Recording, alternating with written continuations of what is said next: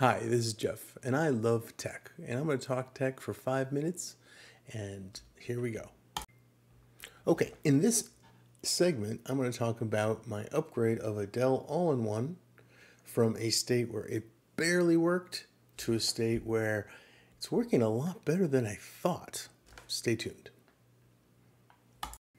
Okay, here's the story. I was helping a neighbor with their computer and running very slow deleting applications, not performing very well, not recognizing USB uh, ports. It felt a combination of maybe there was a virus, maybe there was something wrong with the hardware. It was really hard to pin down. Nothing was revealed as we worked through it. They decided to get a new computer, and I took the old one to work on it to see if I could determine what's going on. Okay, the first thing that I did was to remove any software that might be causing slowdowns in the system's normal operation. Uh, I look at things like OneDrive virus software, things that are running in the background that may have impact on performance. Given the specs, it probably uh, would have a greater impact than a higher end machine, so started there.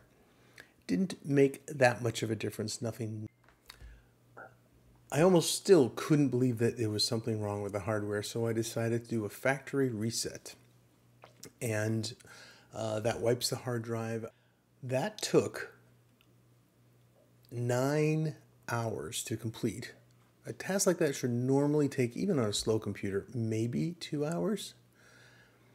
But it was finally done nine hours. Uh, and then install the, the operating system and getting through the welcome through the OS was just as painful. It would hang a few times and finally it kicked back into a recovery mode. Uh, at that point, I realized, well, if we'd gotten rid of any virus going back to a default set of OS and was still having these sort of performance issues, that the hard drive was probably to blame. So I removed the hard drive.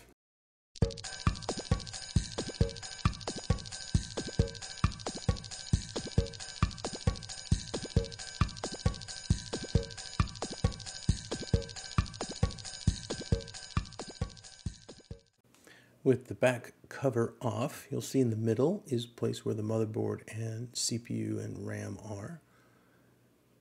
See the hard drive mounted to the side. That's the one we're going to remove.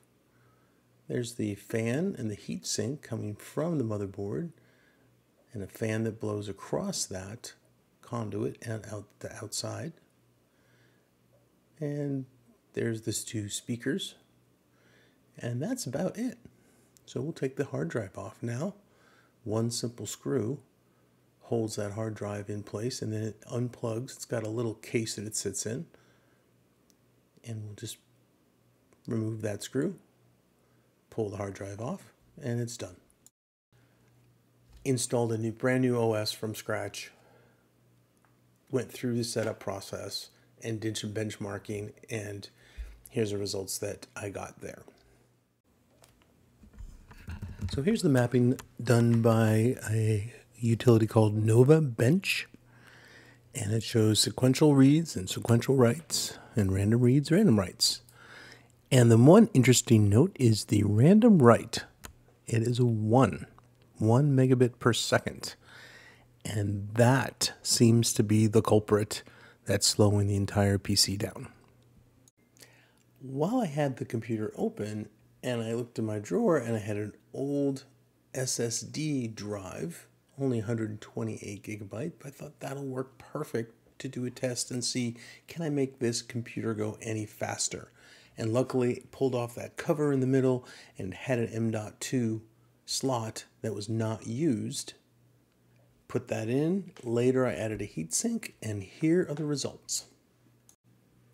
Overall, I couldn't be more happy with the results the SSD outperforming the other two drives pretty handily in most cases. I might be upgrading the RAM and see what that does. Thanks for watching. Bye.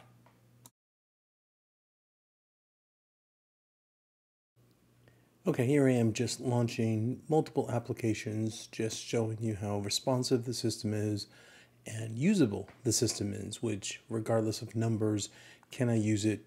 Can I switch apps? Can I load apps? Can I move from app to app very easily? Order them, move them around, and this just shows that things just uh, they seem to be going really, really well. Very happy with the result.